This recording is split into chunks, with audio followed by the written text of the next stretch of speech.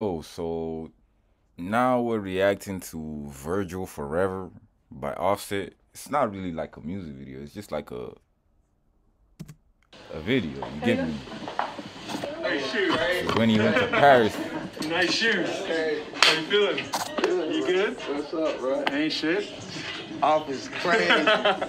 This is the first time you pulled up. First time. You live in Paris right Going now. on like my mind. Yeah, yeah. Glad on the curve. Oh, so you're doing the. the. That's fire.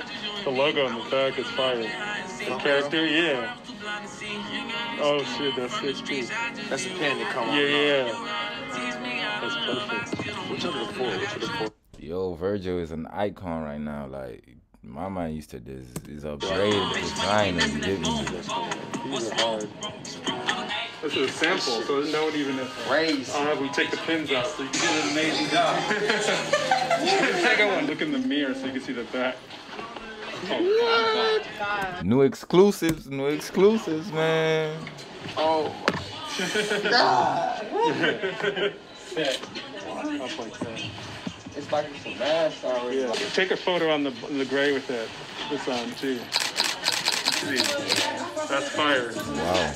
The New York video Sitting on a block. That's light. You know, be curious and then this shit happens.